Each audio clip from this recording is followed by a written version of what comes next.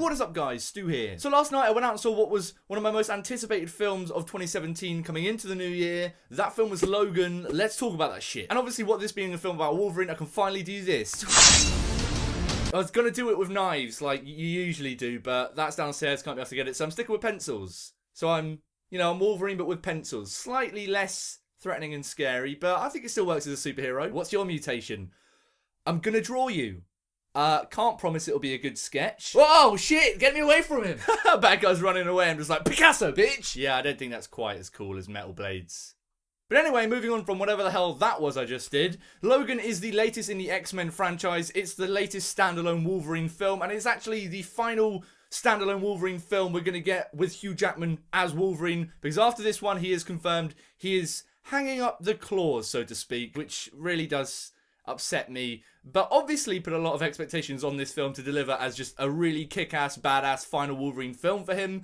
And I gotta say, guys, coming out of this one, yes, it does that. This film did not disappoint me in any way. Ah, oh, just so much goodness to talk about here. Let's get straight on into this bad boy. So Logan is directed by James Mangold, who directed the previous Wolverine installment called The Wolverine. And this one is loosely based on the Old Man Logan comics, which I haven't actually read, but I am now very interested to check out. But it basically tells a story of Logan as a kind of older guy, a very kind of decrepit person who's somewhat losing his abilities and just wants to kind of call it a day and be done. But then he basically gets sucked into a whole lot of other shit where he has to help some people out because he's the fucking Wolverine. And in the titular role of Logan, for the final time, is Hugh Jackman, and holy shit, does Hugh Jackman completely deliver everything I wanted and more in this film. The guy is phenomenal here. This is the best we've ever seen Hugh Jackman as Wolverine, and he did some good shit as Wolverine. It's just such a different version of the character that we've seen from previous X-Men installations, and that's just so refreshing to see and so interesting to see from a performance perspective as well,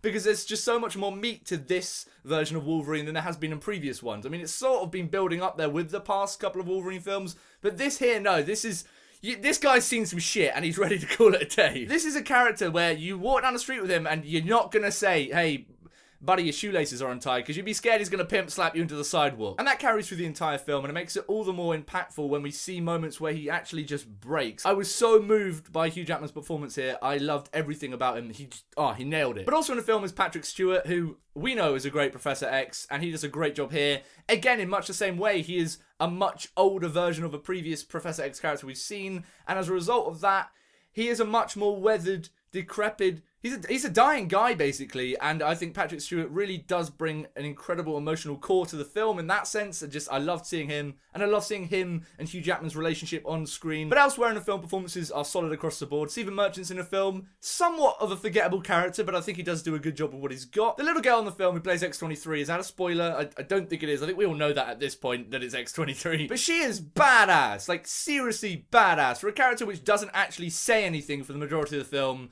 she seriously convinced me that I shouldn't really fuck with her. Like, you see that little kid coming out of a kid's play area and you're like, ah, oh, and then fucking claws come out. She massacres people like, I'm just not going to go anywhere near that, thank you. The direction is where I really appreciated this film as a very different and refreshing take on the X-Men franchise. Tonally, this film gets it spot on and I loved it. James Mangold did do a good job with the previous Wolverine film. There are a lot of problems with that film, but I actually really enjoyed it overall. And you could almost sort of see the beginnings of an R-rated Wolverine in that film. You know, there were blood on his hands when claws were coming out and he was actually fucking people up. There was one point in the Wolverine I remember, and that kind of, I think it's the wedding scene or whatever, where he actually does fuck a guy up. Like, his claws go through someone's head, and I'm like, this is really what I want to be seeing from future Wolverine films, and it looks like they definitely listen to that. Because in this film, oh shit, I mean, it's brutal. It's a brutal film. In the best way possible. I mean, right from the get-go, the opening scene, Wolverine is just slaying motherfuckers left, right, and center, and you see it all. You really do see everything that this guy does to people,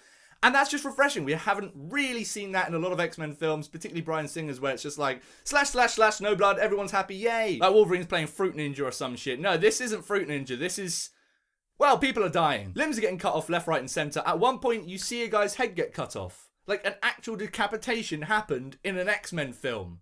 2017, guys. 2017. But that brings me on to perhaps my favourite thing about this film. The fact that it is very clearly a much darker vision for an X-Men film, and I think that is very, very welcome indeed. Things are happening which actually gonna hit you. Like everything that happens in this film from a story side of things does feel like it has a very real and human consequence to it, and that makes it all the more impactful and emotional as a result. I can't really go too much into that point without spoiling anything, but it just it's just things that happen in this film I'm like, that is actually fucked up and dark. I'm actually feeling quite affected from a human level on that one. And I'm so happy that it was allowed to go R-rated with the tone and vision of this film because it means that stuff can happen in a story which is really quite fucked up and you just wouldn't expect to have seen from an X-Men film. For instance, there's like a sequence in this film where you know how in films something fucked up happens and you're instantly like, ah, oh, it's a dream. It's a dream, guys. Don't worry, it's a dream. It's just he's gonna wake up. It's gonna be fine because you know they wouldn't actually go there and do that. You're like, yeah, this is clearly a dream. Well, that kind of happens in this film where I was like, oh, it's a dream, guys. Don't worry about it. It's a dream. Wait, what? And it just keeps going and it's not a dream. It's just fucked. And I think that was the point in this film where I realized this film isn't really afraid to do whatever the fuck it needs to do to tell this story. It's just showing the story that the director wants to show, which is so refreshing to get from a superhero film nowadays or a big studio film because so often or not you can clearly see studio execs fingers in there like we shouldn't do that because it needs to be this way. I'm just really really happy that the story that's being shown in this film is being shown the way that it is and that is definitely a testament to James Mangold's vision and talent as a director here. This is easily his best film. This is probably actually one of my favourite X-Men films. The action is fantastically executed from a direction standpoint, but I also really appreciated that this film knows when it needs to take its time going through certain stuff outside of the action and it's very refreshing to see an X-Men film which does take that time and feels a lot slower as a result, but it feels like an earned slowness. It doesn't feel like, ah, uh, oh, well, come on, let's just fucking get to some cool stuff right now. As a result of that, I could see a lot of people being put off by the slower moments in this film and by the length of this one, but I honestly personally think that James Mangold does a really good job of keeping those slower character moments